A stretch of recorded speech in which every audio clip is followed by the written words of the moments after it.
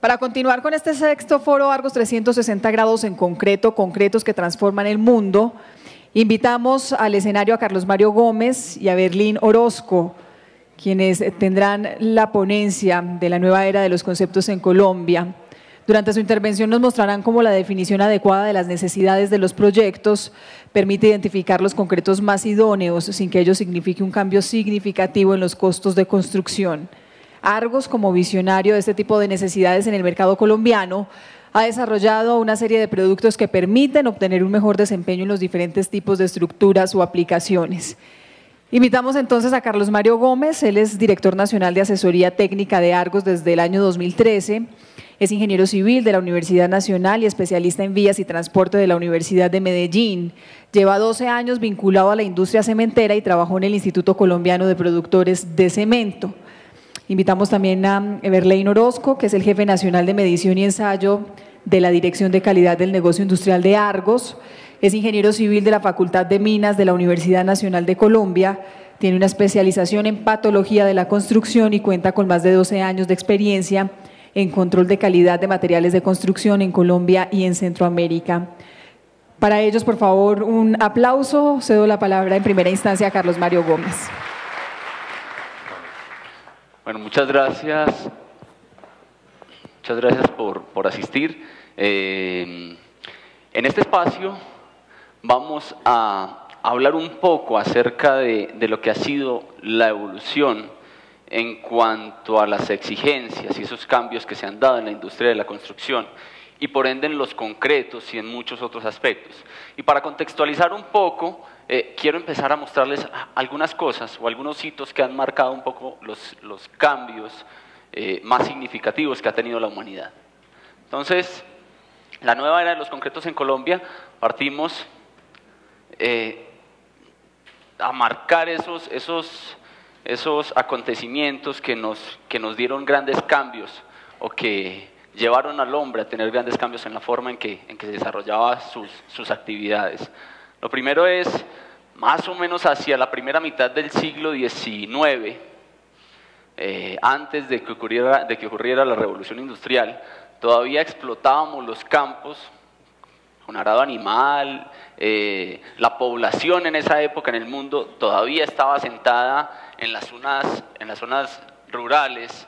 Eh, y digamos que la población de cierta forma estaba ah, creciendo a un ritmo muy normal porque teníamos pestes, teníamos plagas, pero a partir de esa época se empiezan a dar una serie de acontecimientos importantes que empezaron a marcar un crecimiento eh, importante en la población y en las necesidades de esa población. Eh, el manejo del agua, dejó de ser el agua un, transmisor de plagas y a, través de los acueductos y alcantarillados llevamos a que el agua transportara vida.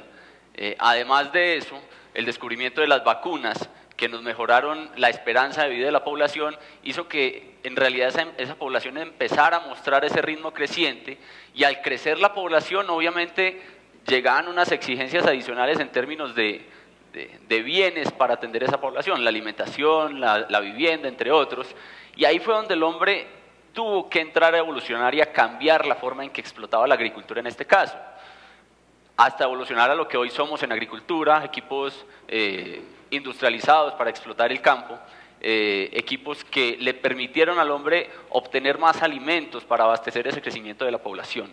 Pero ese es solo uno de los aspectos, la revolución industrial. Pero como ese han habido una serie de acontecimientos que nos van marcando.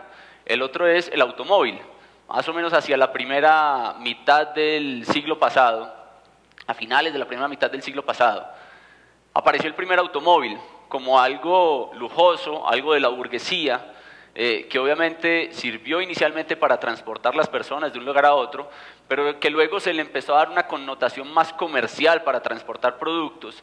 Y ese vehículo que en esa época se inventó fue evolucionando y fue evolucionando hasta tener eh, vehículos de hoy, vehículos eh, de alta velocidad, de altas prestaciones en cuanto a confort, seguridad, a unos costos mucho más bajos. Hoy eh, los vehículos son eh, en realidad de fácil acceso para la mayoría de la población y nos muestra cómo fue esa evolución. Y esto nos marcó también en lo que fue el cambio en, en la vida del ser humano. Aparecieron los ferrocarriles, trenes de alta velocidad, eh, los buques, eh, pues, ya vemos hoy eh, cómo se da la ampliación del canal de Panamá marcado por una necesidad de transportar una mayor cantidad de contenedores.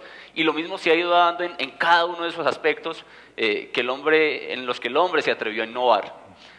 El otro, las comunicaciones, hacia 1973 se dio el primer teléfono celular, pero el hombre no se quedó ahí.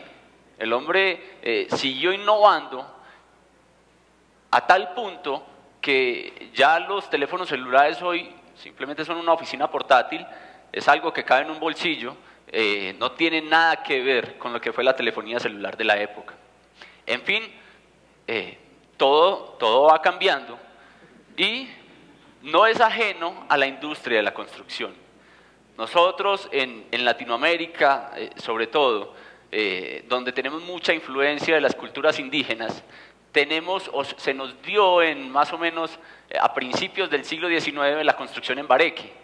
Nosotros hicimos muchas construcciones en Bareque, si ustedes van a, a, los, todavía hay pueblos en todo el país donde eh, aún están eh, en pie viviendas en Bareque que se construyeron hace, hace muchos años, pero, pero eso tenía un pero, eso tuvo que evolucionar, pero ¿para qué evolucionó? ¿Qué problema tenían las construcciones en Bareque? Entonces, obviamente, eran unas secciones de unos muros de 60 a 50 centímetros.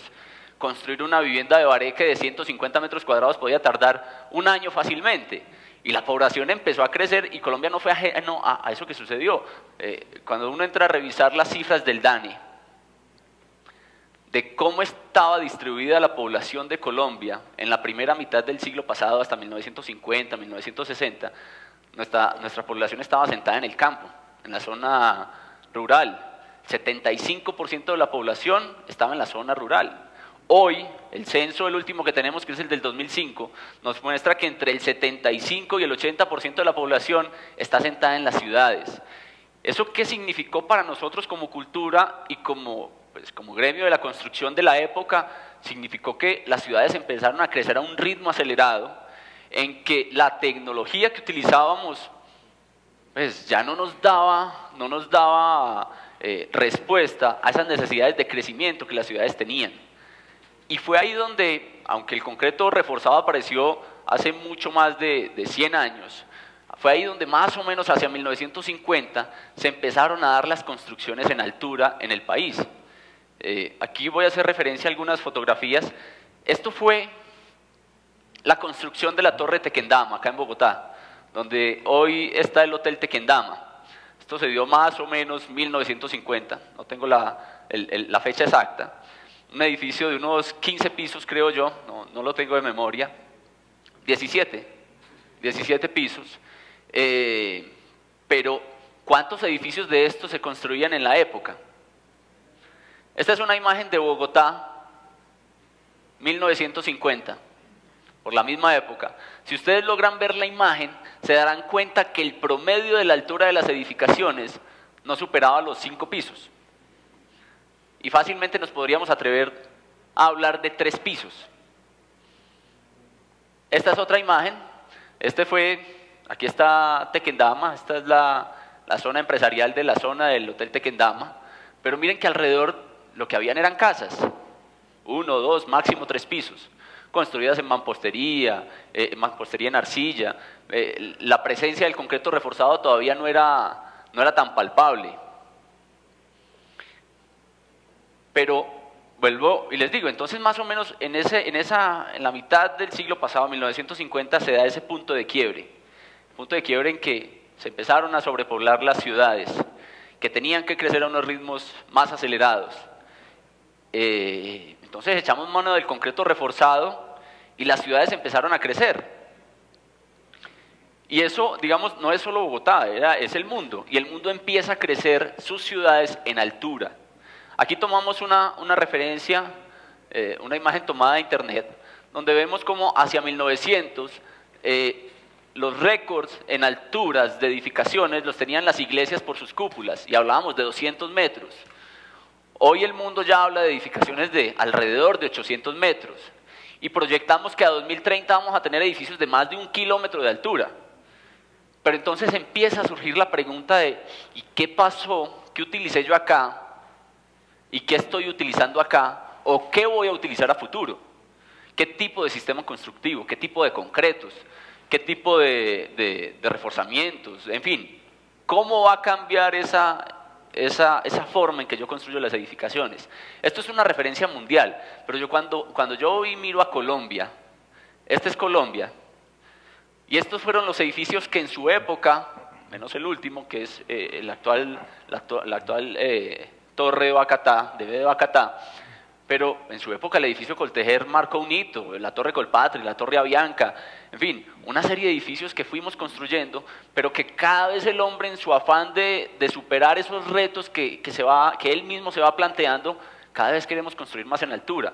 Bacatá va a ser, según lo que escuchábamos, el, cuarto edificio más alto de Latinoamérica, pero les aseguro que no vamos a parar ahí, ya viene Atrio y vienen otros en camino y, cada uno de los países va a querer superar al país vecino o a los demás en que voy a tener el edificio más alto o que voy a plantear un nuevo reto a la ingeniería en cuanto a construcción en altura.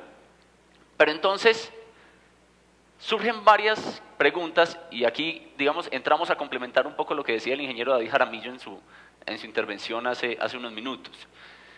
Y ahí es donde decimos, todo ha cambiado, todo ha evolucionado. La forma en que construimos centrales hidroeléctricas ha cambiado. Ya hacemos estructuras que queremos que nos duren 100 años, como decían ahorita en la, en la intervención del puente del Bósforo. Eh, ya queremos que no sean las estructuras en concreto gris, sino que sean estructuras en concretos de color, que nos permitan tener un ambiente más agradable, más sostenible. Eh, en fin, Estamos cambiando la industria de construcción, estamos creándonos y marcándonos nuevos retos, pero surge, surgen también unas necesidades. Entonces, finalmente, ahí retomamos una, una frase de Darwin, es que finalmente el más fuerte es el que se adapta al cambio. ¿Y en qué sentido? En que nosotros como industria de la construcción, nosotros como industria del cemento y del concreto, también tenemos que ser visionarios de hacia dónde va la industria, hacia dónde van ustedes como constructores qué es lo próximo que van a construir, para saber también qué tenemos que desarrollar que, que satisfaga esas necesidades. Y es ahí donde entramos a, a preguntarnos, ¿y qué pasa con el concreto? ¿Cómo ha cambiado el concreto desde 1950 cuando se construyó la torre, de, el, perdón, la torre de Tequendama? ¿Y qué ha cambiado en el concreto a hoy? ¿Es el mismo el concreto que utilizamos para construir el edificio Coltejer al concreto que estamos utilizando hoy para construir la torre de Bacatá? ¿O es el mismo concreto el que utilizamos para construir las centrales hidroeléctricas de, menor tamaño a las centrales hidroeléctricas de hoy, en las que estamos proyectando una vida útil de 100, eh, no sé, muchos más años? Y ahí es donde entramos a cuestionar, sí, entonces nosotros como, como, industria o como gremio de la construcción, eh, generalmente en las especificaciones empezamos a encontrar que hay una oportunidad de mejora. Es decir, porque no empezamos a dejar de especificar siempre a partir de la resistencia a la compresión, en el caso de edificaciones, eh, y empezamos a pensar más en especificaciones por desempeño o, de acuerdo a las exigencias que va a tener la estructura. No podemos pretender construir edificios de 30 pisos a partir de concretos de 3.000 libras o 4.000 libras o 5.000 libras. Ya, ya estamos cinco pisos más arriba y estamos hablando de concretos de 14 mil libras, no sé, o, por encima de eso si llegamos a requerirlo. Pero ahí también hay que marcar claramente en que el concreto no es el mismo. No podemos seguir hablando de concretos 1, 2, 3 o concretos de 3 mil libras, porque todo ha cambiado, ha cambiado el sistema constructivo, ha cambiado la necesidad de las ciudades y han cambiado los componentes, las arenas han cambiado. No es la misma la arena que hoy utilizamos. Bogotá, por ejemplo, tiene un caso muy, muy especial en que eh, los agregados que se consumen para construir la Bogotá de hoy no son de Bogotá, se traen de, Tolima, eh, no sé, distancias de acarreo de 150, 180 kilómetros. Entonces las harinas no son las mismas, hay que innovar y hay que cambiar la forma en que estamos pensando en, los productos. El agregado grueso no es el mismo, los aditivos han ido evolucionando y la industria de los aditivos hoy nos marcan aditivos de alto poder para reducción de agua, para darnos trabajabilidad, en fin. El cemento ha cambiado, ya trabajamos cementos por desempeño. Y obviamente hoy ya pensamos en adiciones que nos garanticen o bien trabajabilidad, o bien durabilidad de estructura, o bien ganancia de resistencia a, edades tardías, entre otros aspectos. Entonces, definitivamente, el concreto no puede ser una solución universal.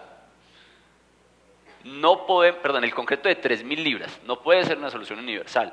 No es lo mismo el concreto de 3.000 libras o el concreto que yo requiero para una central hidroeléctrica al concreto que yo requiero para una edificación o para un andén. Y ahí es donde, pensando en productos por desempeño, pensando en lo que se le va a exigir a la estructura, que nosotros como constructores, diseñadores, especificadores, empecemos a pensar en, esas necesidades particulares. ¿Qué hicimos en Argos? David tocó un poco el tema, nosotros vamos a profundizar un poco más en él.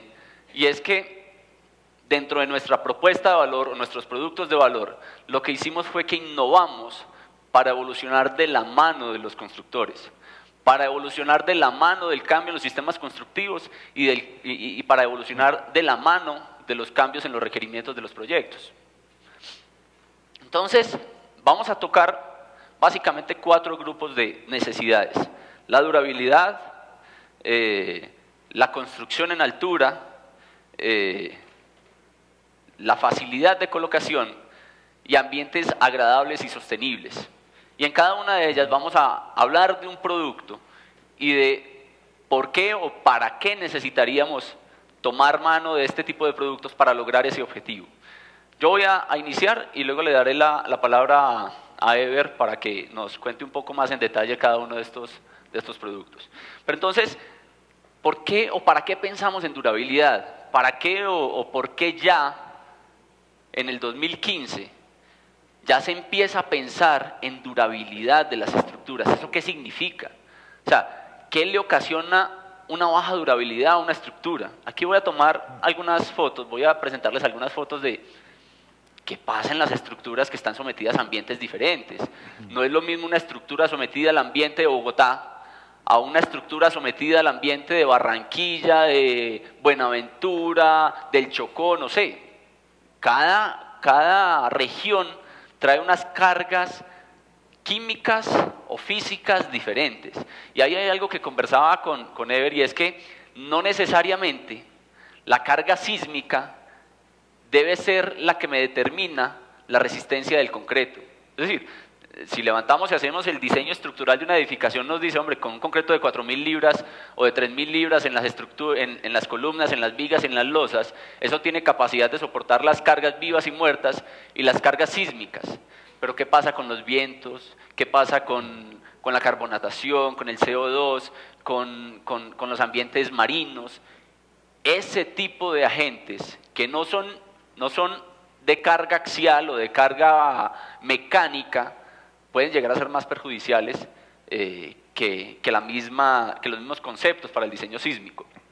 Entonces, miren, miren cómo, hombre, se nos da corrosión del refuerzo. ¿Por qué? Porque penetran, penetra el ion cloruro, expande el, agrega, expande el refuerzo y terminamos teniendo estos en nuestra estructura. ¿Y eso qué significa? Hombre, eso significa que yo para poder mantener la operatividad de esta estructura, voy a tener que llegar a hacer una intervención de mantenimiento, voy a tener que parar la operación del puerto, de la hidroeléctrica, voy a tener que evacuar la edificación, no sé, donde, donde sea que haga yo la intervención, para poder repotenciarla, para poder repararla. Es mucho más sencillo y más económico para el dueño, para el constructor, para todos, pensar en un producto que se comporte bien y simplemente desde la especificación cambiar el diseño para que desde ya, eh, eh, digamos, preveamos un desempeño a largo plazo. Ahorita eh, en, la, intervención del, puente del Bósforo, veíamos cómo pensaban en un periodo de diseño de 100 años y uno de los parámetros que entraban a controlar la relación agua-material cementante, donde hablamos de punto 37. Entonces, miren cómo ya están proyectando a 100 años el desempeño de la estructura. Y eso, a eso es a lo que queremos apuntar con durabilidad.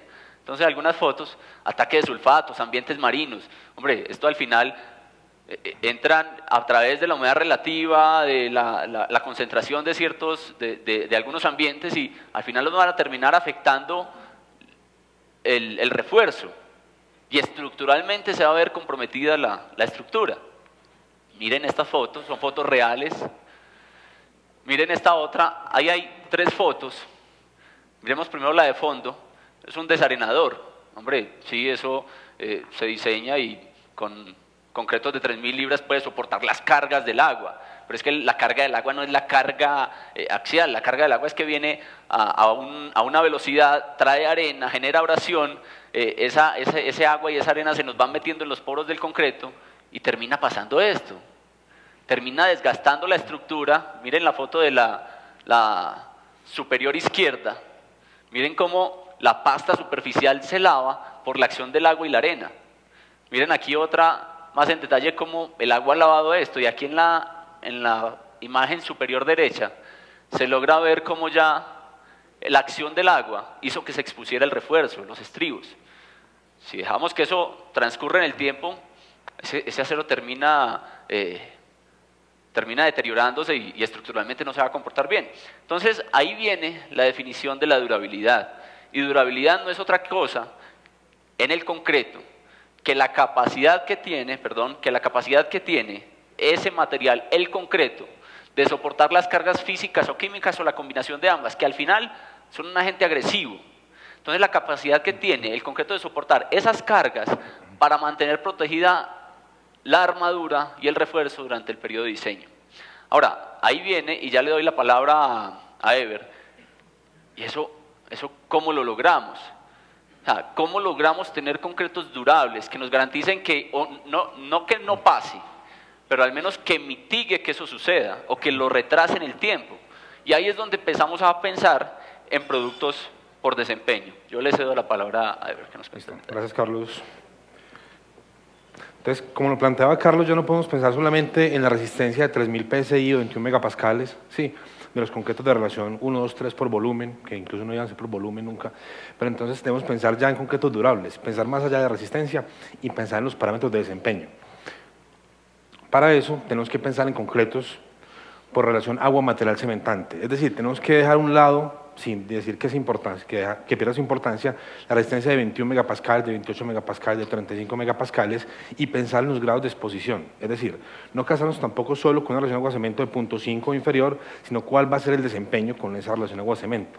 Entonces, los concretos de, de relación agua-material cementante son diseñados, como su nombre lo dice, para mantener una relación agua-material cementante, para cumplir recomendaciones técnicas, especificaciones o grados de exposición de la estructura. Entonces, esto tenemos que medirlo y ver a qué va a estar expuesto. ¿Cómo lo hacemos? No hacia acá, hacia acá. Entonces lo hacemos. Eh, bueno, pensando en los usos, que va a ser en elementos estructurales sujetos a condiciones severas y exposiciones en ambientes agresivos. Y pensando en los requerimientos de durabilidad de la estructura. Digamos que nuestra norma sismorresistente en el capítulo C4 habla de temas de durabilidad, su referente de la 6318 también lo hace, y tenemos una norma técnica colombiana que es la 5551 sobre temas de durabilidad. Y es interesante esta norma porque te habla de grados de exposición, en qué ambiente va a estar su estructura, a qué, a qué va a estar sujeta, te habla de contenidos mínimos de material cementante, relaciones agua-cemento, pero aún así es una norma prescriptiva, es decir, te está diciendo la relación agua-cemento es esta, pero puede que con una relación agua-cemento logres eh, parámetros de desempeño diferente. Entonces, para eso tenemos que pasar a medir cada uno de los parámetros que pueden generar deterioro en la estructura, es decir, la expansión o la exposición a sulfatos. Entonces puedes hacerlo en material cementante siguiendo una norma técnica en Colombia, digamos que ya eh, los laboratorios realizan estos ensayos, si no hay referentes por fuera del país donde puede uno enviar a hacer estos ensayos. Eh, para la expansión por sulfatos es la STMC 1012. Entonces, defines por desempeño si tu cemento, ya no un cemento tipo 1, 2, 3, 4, 5, sino un cemento por clasificación ASTM 1157, C1157, si es de moderado expansión, o de moderada, perdón, resistencia a los sulfatos, o de una alta resistencia a los sulfatos, si su expansión es menor a 0.5, eh, a los, aquí está a los 6 meses, a los 180 días. ¿sí? Entonces puedes revisar eso, lo puedes hacer a los 6 meses, a los 12 meses, incluso una norma resistente te habla también que lo hagas a los 18 meses si el grado de exposición es severo, te lo dice la norma resistente en el capítulo C4. Entonces revisamos acá, se hacen ensayos en laboratorio también sobre barras y se determina que para un concreto testigo con material cementante puro, ¿sí? Tenemos una expansión en deterioro por sulfatos y para concretos adicionados, que en este caso con ceniza el 20%, tienes un mejor comportamiento. Entonces, ver el desempeño real, es decir, no quedarte con la prescripción, no quedarte con la especificación del libro, con el parámetro del libro de muchos años, sino entrar a medir con los laboratorios el desempeño real.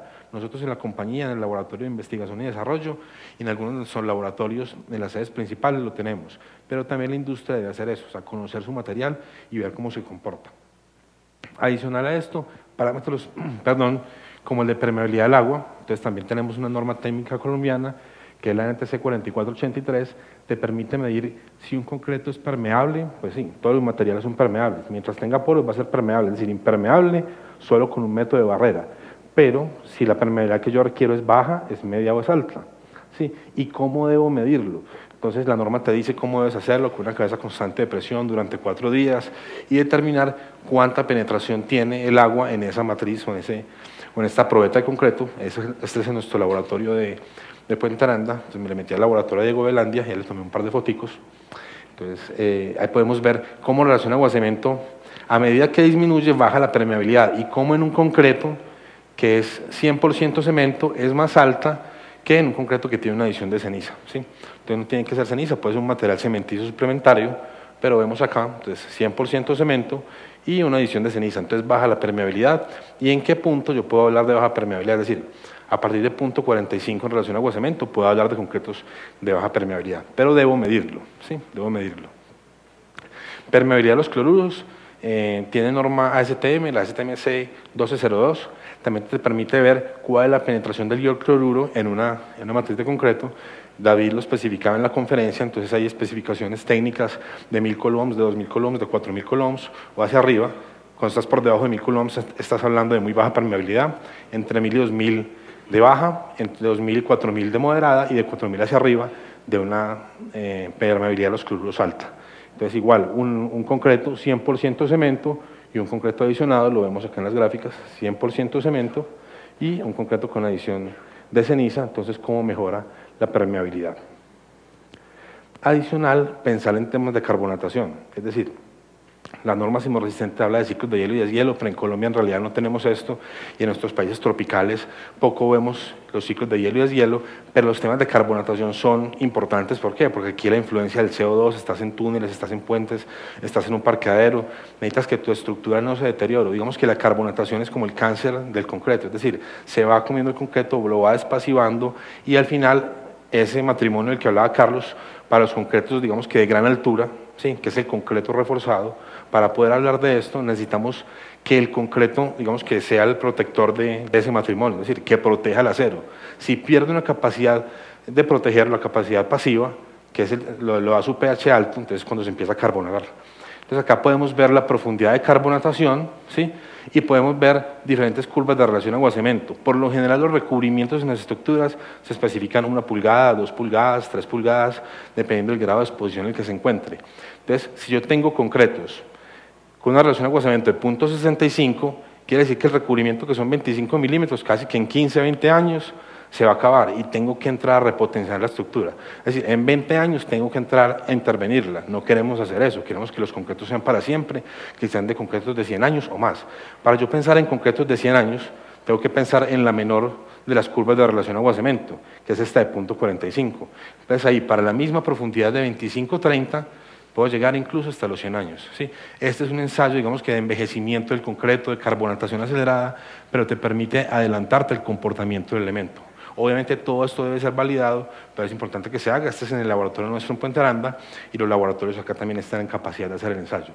Si yo estoy controlando todos estos parámetros de expansión por sulfatos, de permeabilidad del agua, de permeabilidad del ion cloruro, de ataque eh, por carbonatación, yo estoy pensando en un concreto durable y no hemos hablado de resistencia. Acá no hablamos de concreto de 4.000, de 5.000, de 3.000. Ahora antes de la conferencia hablaba con un compañero, con Diego Velandia, y él me decía, pero es que yo puedo tener concretos de una relación agua-cemento, sí, alta, que sean comparativos con concretos de 4.000 o 5.000 de muy buen desempeño. Depende del cementante que sea, si es solamente cemento o es una adición de ceniza o material cementicio. Entonces, pensar en los temas de durabilidad. Acá muestro un par de deditos rápidos. Este es el laboratorio nuestro de durabilidad, entonces me le metí al escondido a Diego, por ahí le grabé un video, él está por acá escondido, ya no, va a aparecer ahí, ¿cierto? Entonces estos son los equipos que tenemos y este es el patio de durabilidad. ¿El patio de durabilidad qué es? son concretos que están, están bien identificados, expuestos a ataques a, ambientes con un contenido de sulfatos alto, con un contenido de cloruros altos, ciclos de vencimiento, de secado, viendo y, para, y monitoreando en el tiempo cómo cambian sus propiedades. ¿sí? Entonces, esto es todo trabajo de investigación, se hace desde el área de desarrollo técnico y ahí podemos ver cada uno de los, de los concretos que tenemos, cómo se comporta en el tiempo. ¿sí? Entonces, es ir estudiando el material por temas de durabilidad. Voy a cortar un poquito el video para continuar con la charla. Entonces, hablamos ahorita de temas de durabilidad.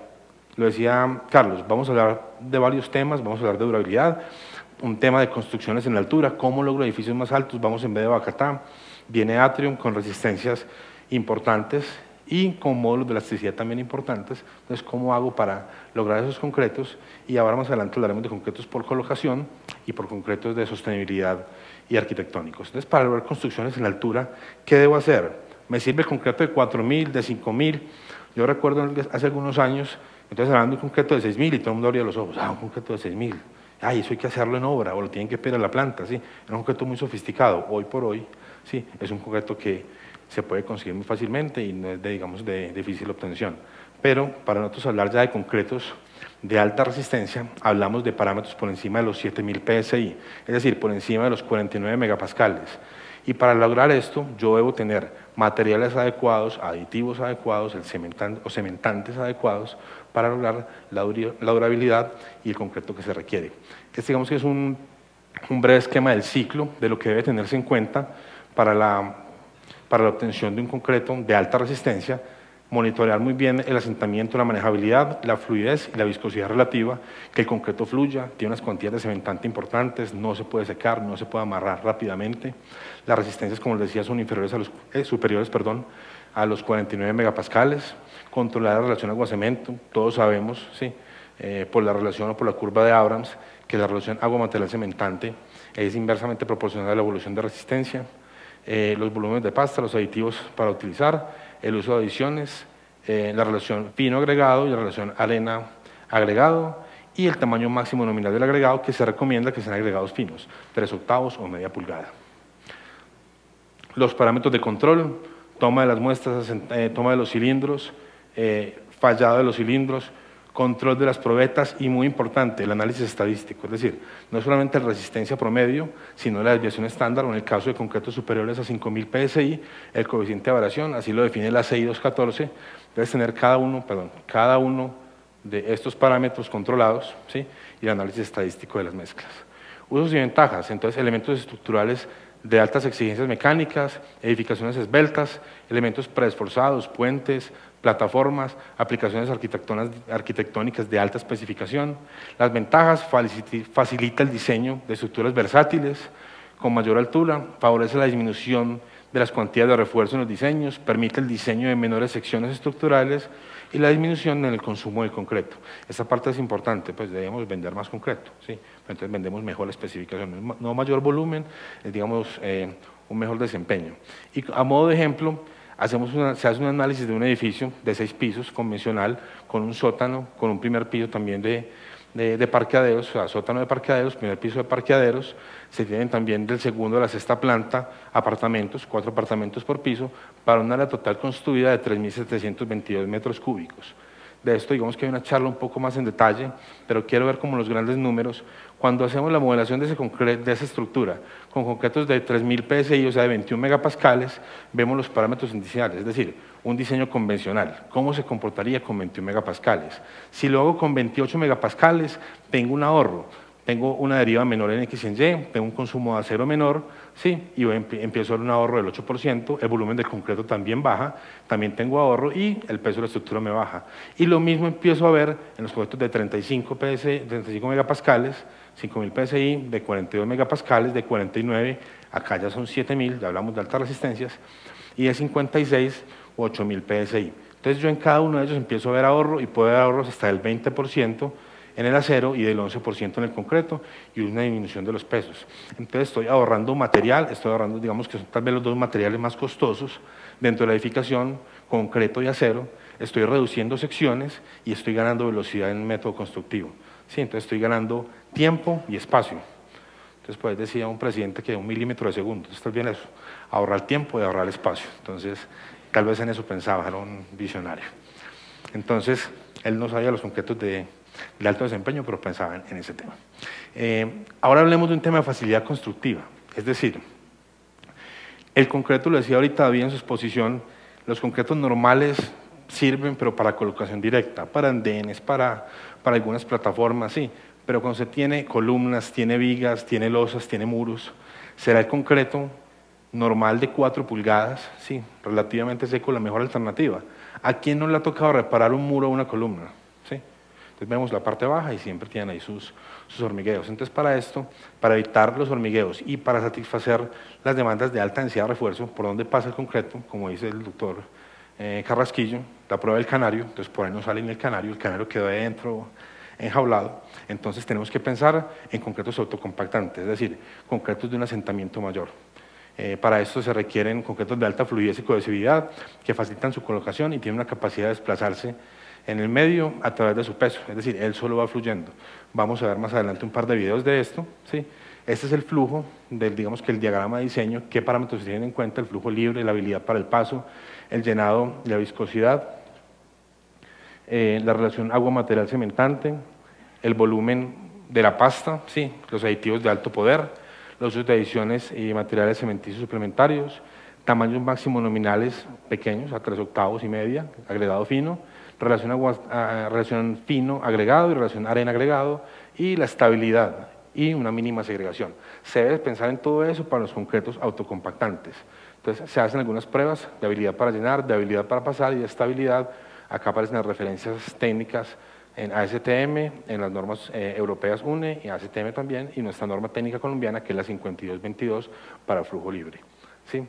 Entonces, usos eh, y ventajas. Vemos para elementos esbeltos, para sistemas industrializados, vemos también para placas macizas y aligeradas, vemos para eh, reparaciones estructurales y para concretos arquitectónicos.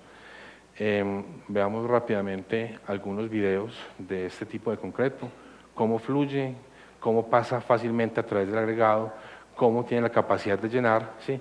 y cómo es estable en este diagrama y evita el tema de segregación. Es decir, lo, que uno no espera en un concreto autocompactante es primero que acá en, este perímetro veamos una aureola de agua. ¿Por qué? Porque está logrando manejabilidad a través de agua, no a través de aditivos y a través de una mezcla cohesiva. Entonces eso no debe pasar. Si eso pasa, vas a tener un tema de segregación y de falta de estabilidad es un tema de manejabilidad. Hablaba ahorita Carlos de dos temas que son importantes y que no, digamos que no están vistos desde el punto de vista de desempeño y resistencia, y es los concretos sostenibles y amigables con el medio ambiente y los concretos arquitectónicamente agradables. ¿sí? Entonces, para eso, Argos como compañía ha pensado y hace parte de esta gama de los productos de alto valor agregado y productos especiales. Ya vimos alta resistencia, vimos autocompactantes, tenemos concretos que son arquitectónicos para lograr estructuras como esta, con acabados, con colores diferentes al gris, ¿sí? que es nuestra pugna, yo soy ingeniero, y la pugna con los arquitectos es que eso es muy feo, eso es gris, se ve feo, mira, es cuadrado, entonces lograr formas de estas, lograr texturas y lograr colores diferentes al gris.